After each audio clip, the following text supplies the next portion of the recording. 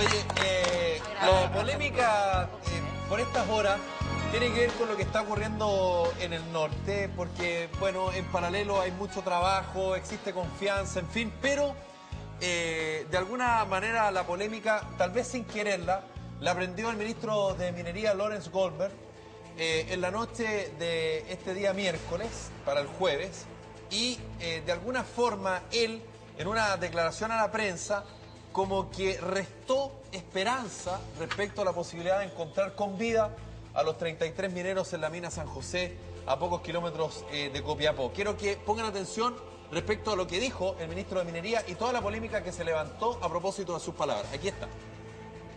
Las probabilidades de la supervivencia son bajas. Las probabilidades de supervivencia son bajas. Directo, preciso y al grano. Esa declaración generó polémica. ¿Por qué? Porque los familiares que están esperando buenas noticias consideraron que no correspondía decir una situación de esa naturaleza. Y no solo eso, sino que además ellos, que son mineros, que conocen el tema, dicen siempre las esperanzas están porque son personas que conocen exactamente lo que No, porque significa además decir eso, trabajar no. Felipe, decir eso le quita urgencia al asunto. Además, le quita, le, le quita urgencia. Tenía esperanza, apurar el rescate. Y también algunos señalan que es una manera también de ir preparando una situación Ya. o un desenlace fatal para que esa factura no se la pase a la autoridad que está a cargo del rescate. Pero este día jueves, el presidente Sebastián Piñera como que reavivó las esperanzas y dejó un poco atrás y de una u otra manera desmintió a su ministro de Minería. Esto dijo el presidente Piñera. pero quiero que los familiares de los 33 mineros atrapados y todos los chilenos y chilenas sepan que hemos hecho todo lo humanamente posible por rescatarlos con vida y que esa esperanza sigue viva y más viva que nunca. Bueno, Que se coordine el ministro con De el alguna manera el presidente también dice, oye, hay que tener esperanza, no hay que perderla, es lo último que se pierde la esperanza, en fin. Pero el ministro Goldberg hoy de nuevo salió a hablar ¿Qué dijo ahora? para lo que suele ocurrir cuando las autoridades ¿Se contradicen? se generan impactos en sus palabras o queda desdecido por su jefe, de- que en este caso el presidente de la República. Esto dijo el ministro de Minería, Lawrence Goldberg. pero no, nunca hemos cambiado nuestra posición respecto a que aquí tenemos que tener un moderado optimismo, no hacernos falsas expectativas. Puta, la arregló a media. Bueno, el tema está ahí. Lo importante es que se está trabajando, llegaron equipos del extranjero con cámaras de televisión Gracias que van a ir por las sondas. Monitoreando. Hasta 800 metros se supone. Y está la confianza. Se espera que para este fin de semana se pueda hacer contacto finalmente con los mineros. Lo importante de todo esto es que existe la posibilidad y siempre va a estar la posibilidad porque, ojo, ah, no sería la primera vez que ocurre un desastre de esta naturaleza y finalmente hay un buen final. O sea, Ay, un final feliz. No sería la primera vez que pasa. sea este. No este sería la primera vez que A pasa. propósito de eso, fíjate que existe en la vida una regla de tres que se llama. Dicen que uno no puede vivir si deja de respirar por más de tres minutos. Así es. Dicen que uno no puede vivir si deja, ¿cierto?, de, eh, si está en una intemperie, en un clima extremo, durante más de tres horas.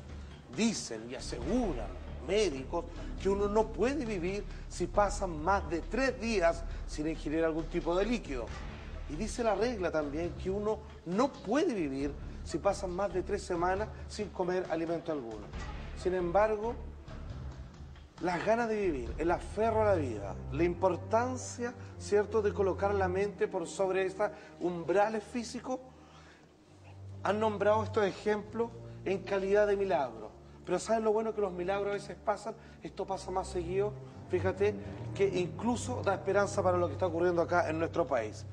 Un claro ejemplo, dos años 2010, terremoto en Tahití, un niño de En- en siete Haití. en Haití, perdón, de 7 años, con su hermana de 10, 7 días atrapados, sin ingerir alimento alguno, fueron rescatados e incluso tuvieron un pequeño ánimo, el gesto de, él, de sentirse feliz cuando son sacados. Por favor, señor director.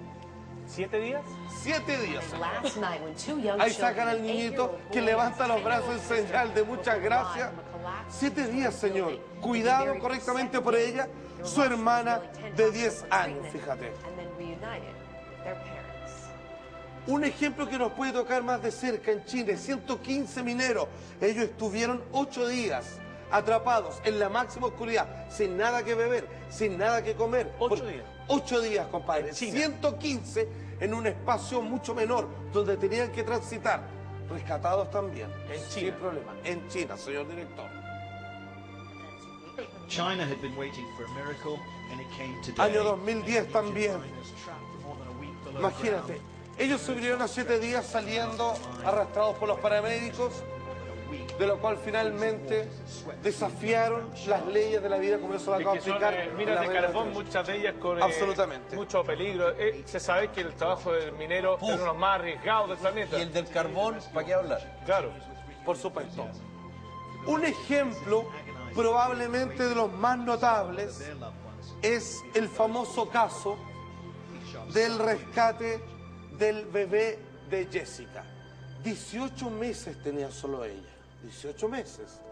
Y ella estuvo más de dos días, 58 horas para ser exacto, atrapada, fue rescatada y siendo un bebé prácticamente, se resistió al sueño, no durmió, pasó dos días sin dormir hasta que fue sacada por fin. Un caso de los más emblemáticos de que hasta un niño que podría querer rendirse aguantó hasta el final, al momento en que lo sacan. un pozo atrapada, ¿no? Ah, exactamente, mira, emocionadísimo. Creo que tuvieron que entrar por el costado, excavar. Por supuesto, ent- porque no pueden no podían llegar por la línea por la directa, manera en que- ella accedió ahí. Ahí está envuelto en unos trapitos que lograron sacar porque no se raspara por la orilla. Increíble. Esto año fue, fue el año 87, 87, en la actualidad tiene 24 años Y y, tiene un hijo hijo. pequeño. Se pasó. Se pasó 18 meses, les vuelvo a recordar, el momento de salir. Y ahí está cuando a la semana, cuando está completamente recuperada. 18 meses, les recuerdo. Casi tres días sin contacto alguno. Un ejemplo al otro lado, opuesto. 98 años en España. Mujer atrapada por los escombros de un propio hogar. Muy difícil. Esto sí Tremendamente difícil. 98 años. Alguien que claramente podría decir, me dejo ir, suelto, yo ya hice lo mío. Aguantó, señoras y señores. Atrapada por horas, la rescata. Mira esta señora, te pasa. Estuvo dos días los Dos días, señor. 98. Con Dos días 98 sin años. Mira ahí. Dos de las reglas de tres se las, pa- se las saltó sin problema, compadre, esta un señora. tierral. Por favor, mira, quiero, mira, ella está con de, de- de guata al suelo, la mano al lado, y se nota un poquito la cara, mira, ya van a descubrir Está aplastadísimo. cómo está con la, mira, ahí está, ahí se está rascando la nariz. ¿Te das cuenta? Y ahí logra pestañear. puedo 98 creer. años, repito, por si no les quedó claro. Mira, se la, está, moviendo, está parpadeando. Ahí está. Exacto. Dos días en esa condición. En esa condición, completo. Repito, con casi un centenar de años, esta señora finalmente logró resistir, aguantó y en los últimos minutos, que fue lo que duró el rescate de estos señores, lograron llevársela y sigue viviendo hasta el día de hoy. Ahora, imagínate, quiero cerrar con algo que no tengo imagen, pero es un ejemplo que se parece mucho al que vimos. Dos mineros también estuvieron, ¿sabes cuánto? En similares condiciones a las de los chilenos, 19 días. En el día número 11 los daban por perdidos.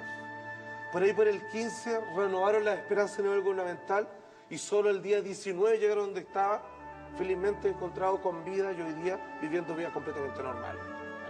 Viejo, hay Se cosas puede. que dicen que no se puede, pero aquí está la prueba. Cuando se quiere, claro que se puede. Así que Qué lindo. esperanza. Hay que tener